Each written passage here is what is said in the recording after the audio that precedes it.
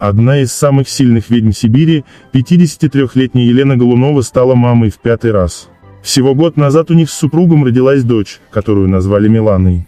Девочке едва исполнился год, как участница битвы экстрасенсов заявила о рождении сына. Ясновидящая опубликовала фото, сделанные с выписки из роддома. На снимке она держит на руках маленький белый кулечек, перевязанный синим бантом. Это пятый ребенок Елены. Помимо малышей у нее есть трое сыновей, 35-летний Влад Кадони, 24-летний Дмитрий и 11-летний Лев.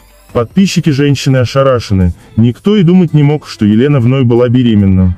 К слову, многих это навело на мысли о том, что семейство воспользовалось услугами суррогатной матери. Голунова не уточняет, рожала ли она самостоятельно или же они с мужем воспользовались услугами суррогатной матери. Однако в случае рождения дочери год назад Елена утверждала, что рожала самостоятельно. Также женщина публикует в своих социальных сетях фотографии с выписки, которые свидетельствуют о том, что Голунова все же рожала самостоятельно. В любом случае снимки получились очень красивыми и трогательными.